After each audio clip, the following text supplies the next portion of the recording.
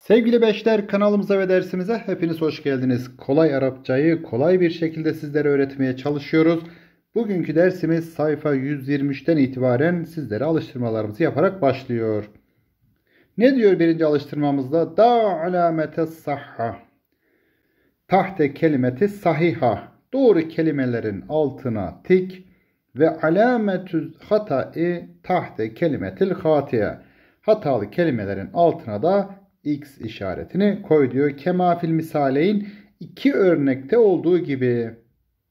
Daha önceki dersimizde sizlere şemsi ve kameri harfleri öğretmiştik. Neydi?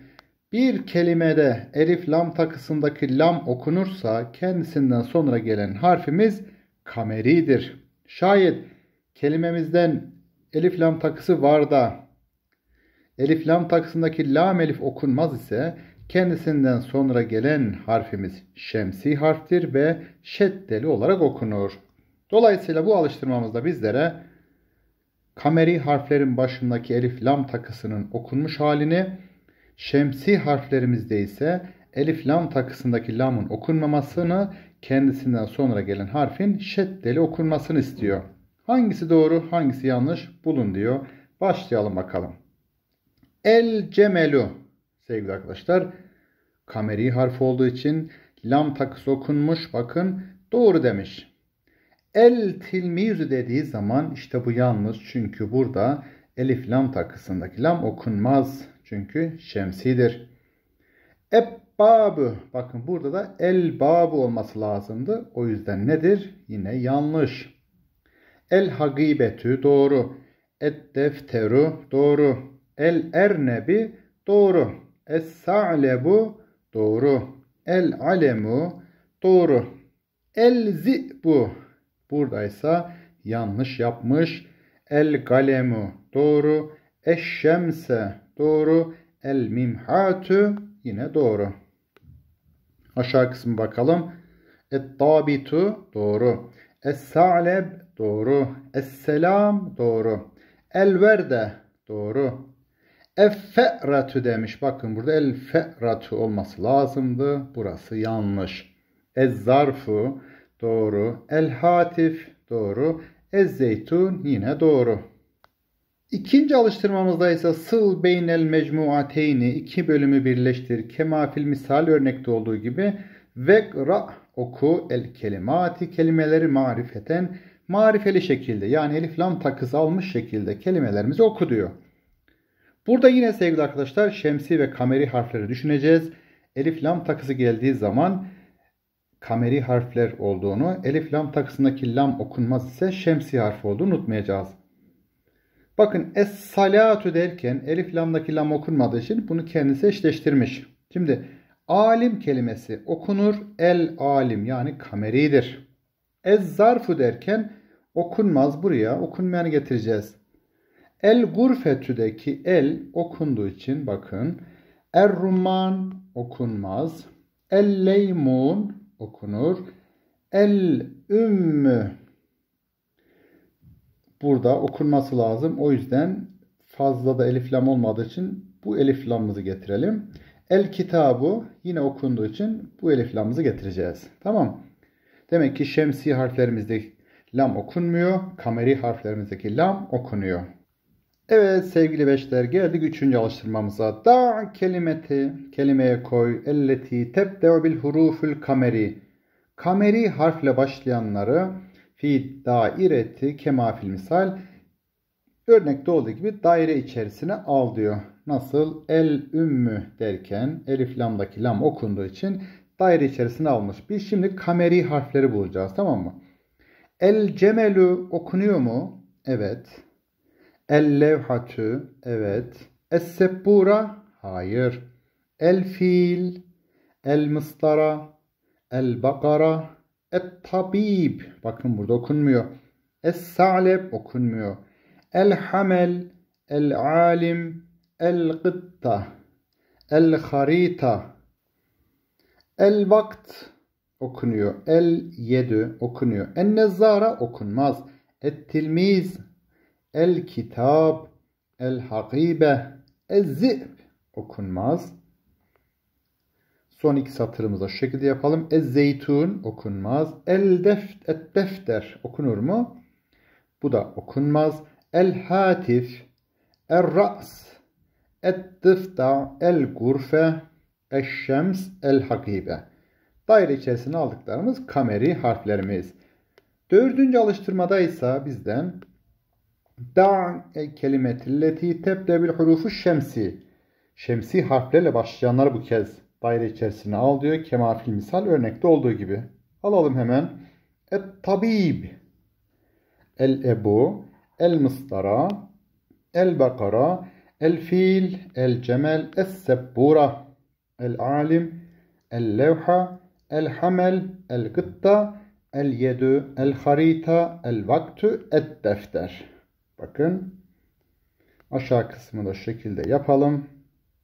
El gurfe et tilmiz el kitap ez zeytun el gazal ez zip en nezzara el ra's el şemsü et tıfta el hagibe el leymun Evet 125. sayfamızda el kelimatu ve ta'biratul cedide. Yeni kelimeler, yeni tabirler e, bölümündeyiz. Şu ana kadar öğrenmiş olduğumuz sayfa 125'e kadar olan bölümden sizlere özet şekilde kelimelerimiz verilmiş. Sınavlarda da büyük bir ihtimalle bu kelimelerimizden size sorular gelecek. O yüzden anlamadığınız, öğrenmediğiniz kelimeleri muhakkak ezberlemeye çalışalım. Yanlarını, anlamları yazalım. Şimdi sırayla ben okuyorum. El cezmü, cezim yani harflerin üzerine gelen yuvarlak işareti. Eşşeddetü şedde yani harflerin üzerine gelen iki kere okutan şedde. Etta'ül merbuta harflerimizin sonuna gelen kapalı T. Ettenvin harflerimizin üzerine gelen en, in, ün okutan işaretimiz. Lamut tarif az önce işledik. Elif lam takısı. Kelimelere e, marife denilir. Yani bilinen bir şey. Şayet elif lam olmazsa nekra olur. Bilinmeyen anlamına gelir. Aşağı doğru gidelim şimdi buradan. Devam edelim. El hurufu şemsiye. Şemsi harfler. Neydi? Elif lam takısındaki lam okunmaz. Kendisi şeddeli ol okunursa diğer harfimiz şemsi harf diyoruz. El huruful kameriye. Kameri harfler. Elif lam takısındaki lamın okunduğu. Kendisinden sonra gelen harflere kameri harfler diyoruz. Esselamu aleyküm. Müslümanın Müslüman üzerine verdiği selam değil mi? Beni Allah'ın selamı üzerine olsun. Ve aleykümselam. Allah'ın selamı senin üzerine olsun. Aynı zamanda selam ifadesi sevgili arkadaşlar ben Müslümanım benden korkma demektir. Ve aleyküm selam dediğimiz zaman ben de Müslümanım sen de benden korkma diye anlayabiliriz. Keyfe haluke erkekler için, keyfe haluki kızlar için nasılsın? El yevmü bugün demek. El yevmü bugün. Son kısmı yapalım bu satırımızın. Bir hayrin iyiyim. Elhamdülillah Allah hamdolsun çok şükür. İlel ligai görüşmek üzere görüşürüz. Me'as selame selametle kal. İkra ilkinen ayet Alak suresi neydi? Oku. İkra'i kızlar için oku. İkinci bölümden devam edelim. Şimdi emir fiillerimiz devam ediyor. Bakın üktüp erkek için yaz. Üktübi kızlar için yaz.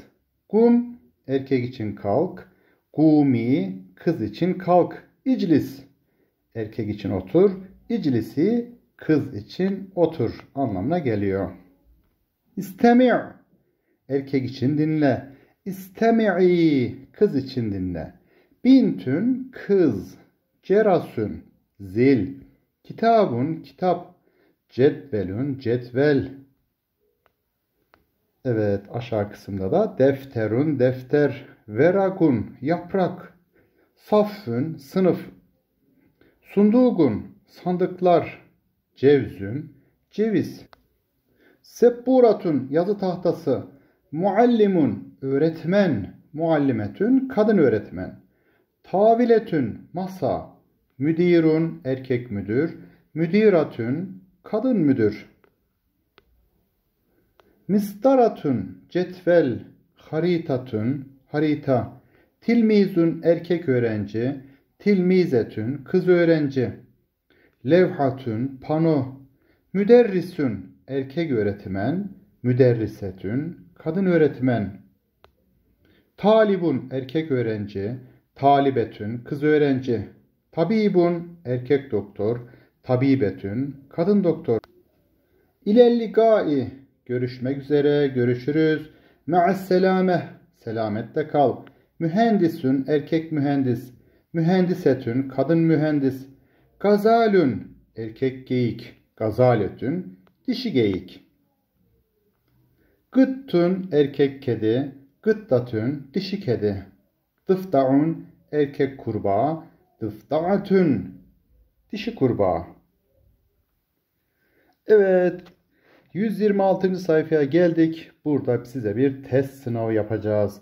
İhtebir nefseke kendine göre seç bölümündeyiz. Testimiz var. Testimizde Türkçe'de A, B, C, D var ya bakın burada da Elif, B, Cim, Dal şeklinde size 4 tane şık veriyor. Birinci sorumuza bakalım ne diyor.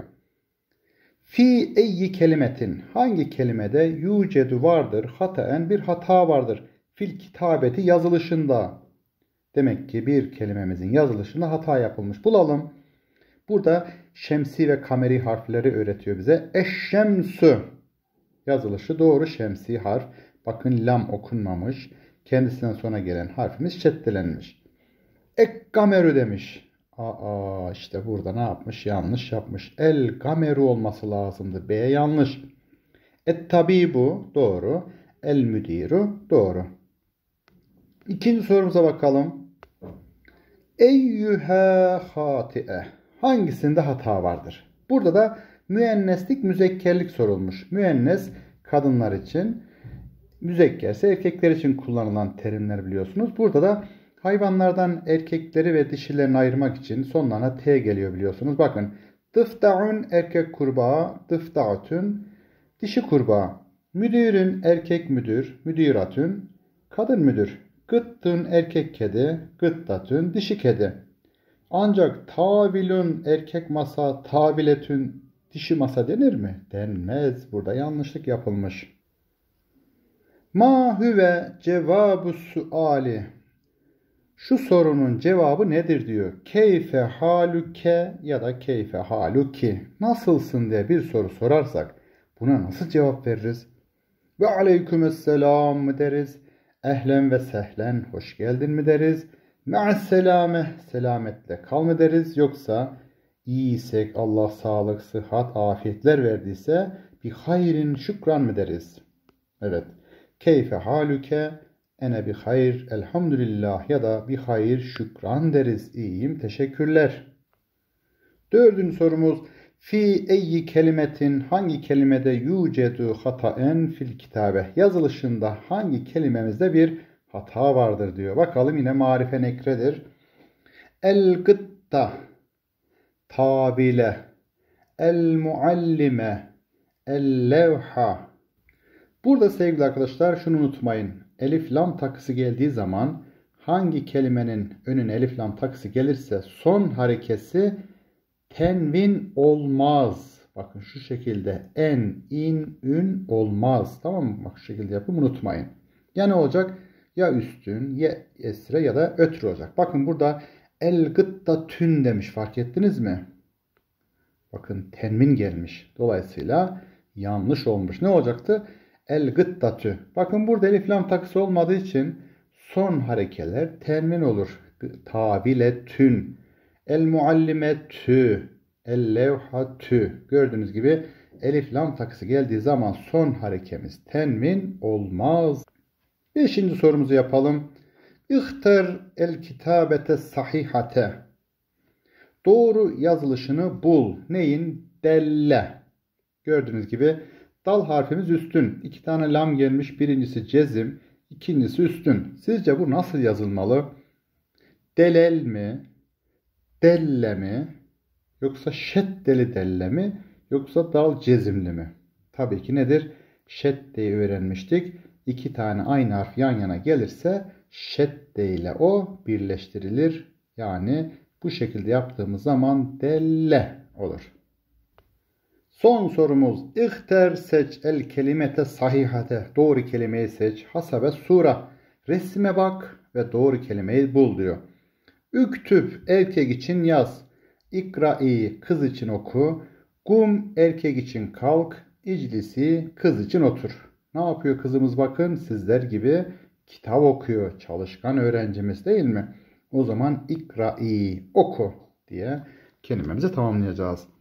Evet sevgili arkadaşlar konumuzun sonuna geldik. Diğer dersimizde görüşelim inşallah diyor.